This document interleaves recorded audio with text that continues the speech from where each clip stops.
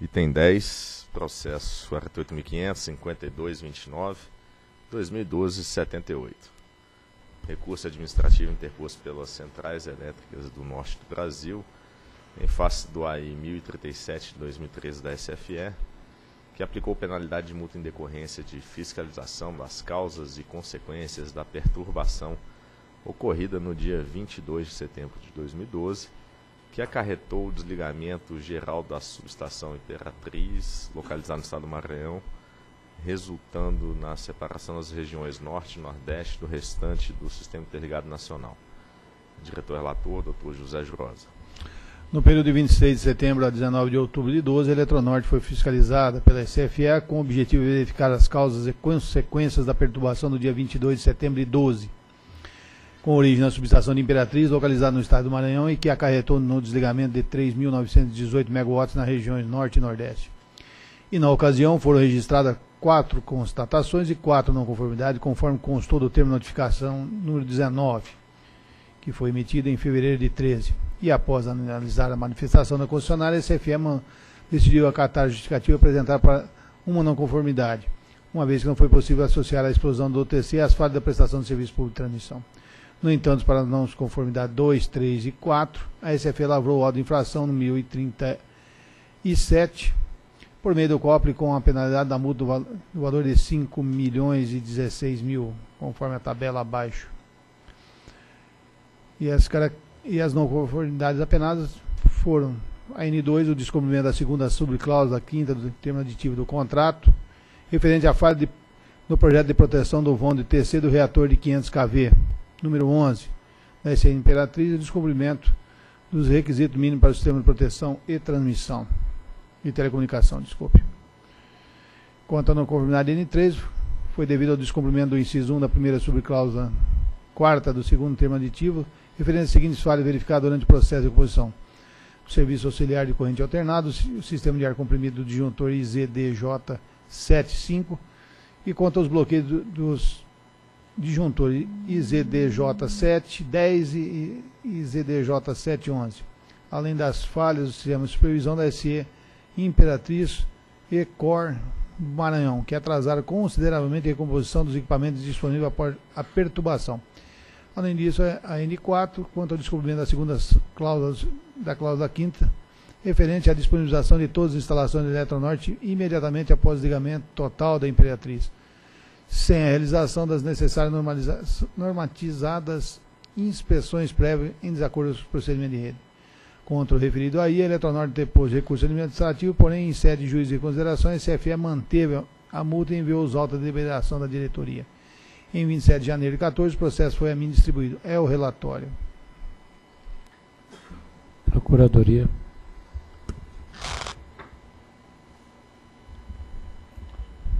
Trata-se aqui de recurso administrativo interposto pela Eletronorte em face do auto de infração 1037 de 2013. Aqui as não conformidades estão caracterizadas. A Procuradoria não exarou ah, parecer mas opina aqui pela, pelo conhecimento e manutenção da, da multa aplicada em face da presunção de legitimidade dos atos administrativos.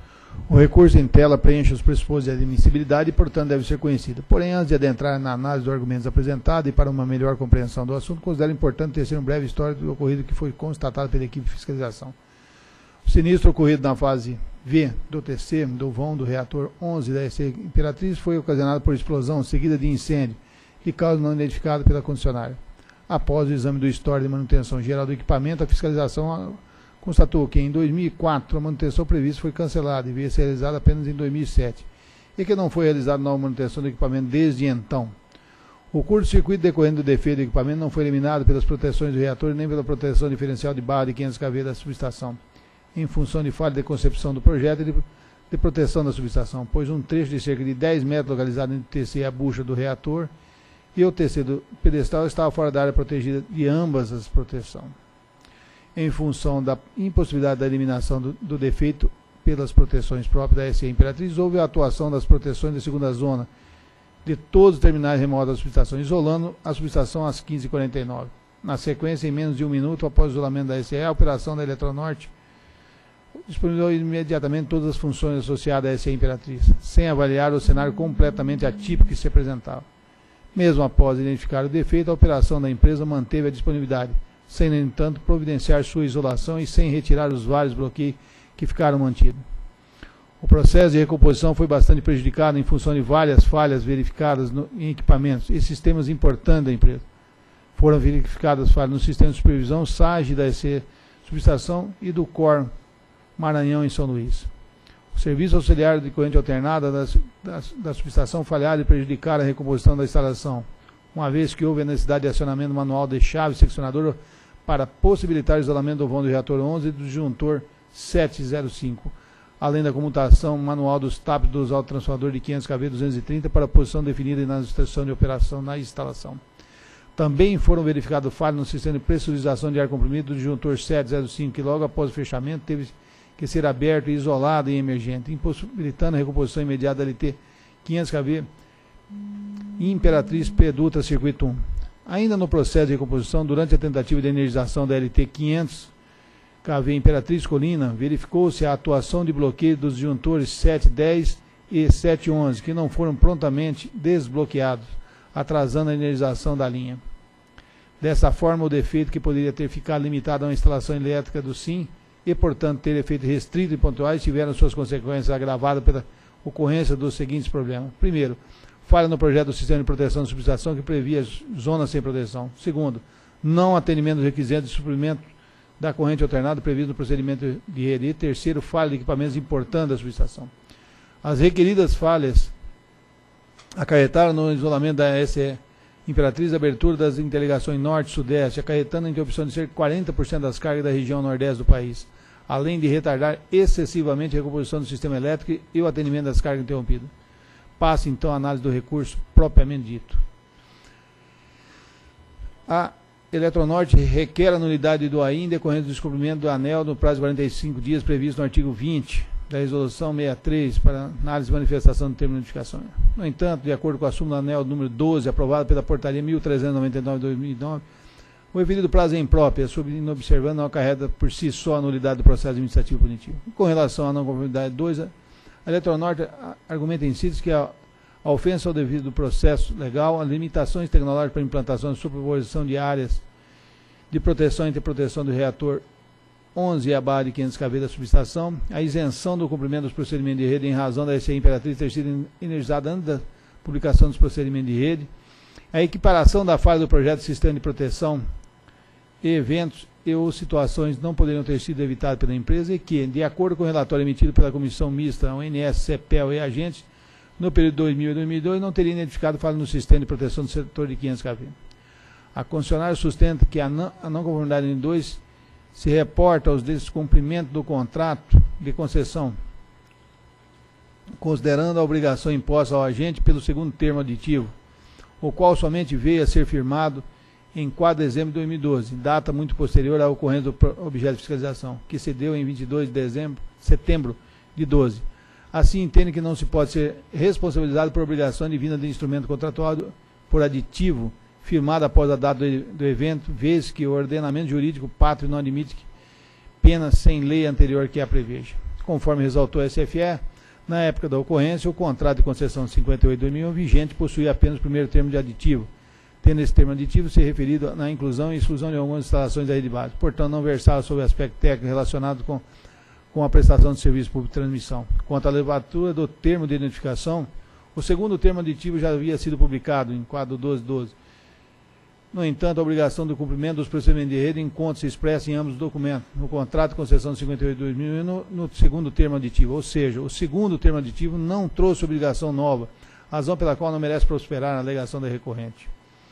A Eletronorte argumenta que estaria desobrigada a cumprir os procedimentos de rede, pois as obrigações expressas no item 4.2, modo 2.6, revisão 2.0 de 11 de novembro de 2011, limita a aplicabilidade do documento apenas a projeto de novas instalações. E a empresa não deveria cumpri-los, porque as subestações estariam em operação desde 99 e os procedimentos de rede foram publicados em outubro de 2000. No ponto, compartilho o entendimento da ICFE de que as afirmações da empresa que se refere à segurança intrínseca das instalações de transmissão fere o conceito da boa engenharia Isso porque se há uma fragilidade conhecida no sistema de proteção de uma subestação de importância da SE Imperatriz, ela deve ser corrigida imediatamente. Ainda mais por se tratar de princípio elementar da concepção dos projetos de sistema de proteção e superposição de áreas de proteção. Destaque-se ainda que o entendimento da empresa está equivocado quanto à obrigatoriedade do cumprimento dos procedimentos de rede apenas para projeto de novas instalações. Repita-se, no próprio contrato de concessão está explícita a obrigação de operar as instalações de transmissão de acordo com as instruções do procedimento de rede, com as regras vigentes e com as que vieram a ser emanadas da ANEL ou do ONS, devendo acatar e aplicar quaisquer novas resoluções, determinações, recomendações e instruções que disciplinem o serviço público de transmissão. A recorrente argumenta ainda que a não conformidade N2 deveria ser arquivada, tal qual aconteceu com a não conformidade 1. Para tanto, baseia-se no fato de que as situações que levam sinistros incidentes sem haver a contribuição da empresa por ação ou omissão. Sobre esse assunto, observa-se que a SFE decidiu pelo arquivamento da não conformidade nenhum, simplesmente porque não encontrou evidências que a inclusão do TC tenha ocorrido por falha de manutenção do equipamento. Entretanto, de acordo com o levantamento feito, o desligamento geral da subestação ocorreu por sensibilização das proteções remotas devido à falha na concepção do projeto de proteção do vão do reator 11 e da barra de 500 kV da subestação, caracterizando flagrante falha na prestação de serviço. Não há, portanto, se falar em arquivamento da não conformidade N2. Em seu recurso, a Eletronor procura também apresentar argumentos técnicos com o intuito de mostrar que não seria possível implementar adequadamente o projeto em razão da incompatibilidade técnica entre seus aplicados empregado para a proteção diferencial da barra, relação 3 mil para 5, e os TC do B de interligação Norte-Sul, que faziam parte de um lote adquirido para esse uso exclusivo de interligação Norte-Sul, relação 400 para 1. Por conta disso, sustento que não haveria condições de implantar sobreposição nas áreas de cobertura entre as proteções diferenciais e de barra do reator, provendo proteção instantânea para o referido trecho. Além das limitações acima, a empresa informou que analisou e concluiu que poderiam operar sem a superposição das áreas de proteção, pois havia baixa probabilidade de ocorrência de defeito no trecho. Haveria impacto reduzido para a operação do SIM, quanto à eventual abertura remota das proteções da SE Imperatriz na época da implantação, e também por considerar ser uma prática comum a proteção de equipamentos e trechos de atuação remota. Conforme ressaltou a SFE, mesmo que não houvesse condições técnicas para a implementação correta do projeto, por indisponibilidade de equipamentos adequados, no caso TCs com características especiais de isolamento, a empresa não deveria ter deixado o trecho sem proteção por tanto tempo. Ao contrário, deveria ter feito adequação por meio de aquisição de novos TC com características indicadas na correção do problema. O argumento da recorrente, que a época do projeto foi levada em conta a baixa probabilidade de defeito do trecho compreendido no disjuntor e as buchas do reator e os impactos do sistema elétrico em decorrência de uma eventual eliminação de defeito pelas proteções de retaguarda remota se mostrou equivocado. Afinal, houve a falha no trecho e as consequências foram gravíssimas ao sistema em decorrência do isolamento de toda a região norte e sudeste ao restante do SIM. Ainda sobre o assunto, ressalta-se que o fato de o relatório elaborado pela, pela Comissão Mista, ONS, CEPEL e AG no período 2002 ter concluído que não detectou qualquer fragilidade no sistema de proteção envolvendo as barras de 500 kV e o reator de barra, não exime e diminui a responsabilidade da concessionária. A Eletronor destacou que a partir de 2004 foram realizadas modernizações no sistema de controle e supervisão do setor de 500 kV da SE Imperatriz, e que na ocasião não foram realizadas substituições de equipamentos, TCs, e por isso não foi possível corrigir a falha do projeto. Informou ainda que a, que a concessionária que já sabia da não superposição das áreas de proteção diferencial na barra de 500 kV e do reator de, número 11, e que a situação persistia por uma conjugação de fatura, uma dessas justificativas baseada no fato de não haver equipamento TCs compatível para adequação. Entretanto, conforme observou a SF, SFE, era de se esperar que, passado tanto tempo, a limitação não mais persistisse e que a adequação não foi de fato realizada por falhas internas da gestão da empresa. Caracterizada, portanto, a N2. Com relação a N3, verifique-se que a Eletronorte reiterou o suposto equívoco do NS por optar pela instrução I-O-I-N-E-I-Z, em vez da I-O-R-R-N-N-E. Além do mais, questionou no mérito da N3 no que se refere à responsabilidade imputada às falhas do sistema supervisório da instalação. No que diz respeito às falhas apontadas pela fiscalização dos serviços auxiliares, sistema de comutação dos TAPs e bloqueio dos disjuntores 7, 5, 10 e 11, a empresa não, não se manifestou. Verifica-se dos autos que a decisão do ONS de optar pela instrução IORN NNE, em vez da IO, IO, não, Z, foi tomado com base na necessidade de reforçar o atendimento da instalação por meio do restabelecimento da interligação Norte-Nordeste Imperatriz Pedutra.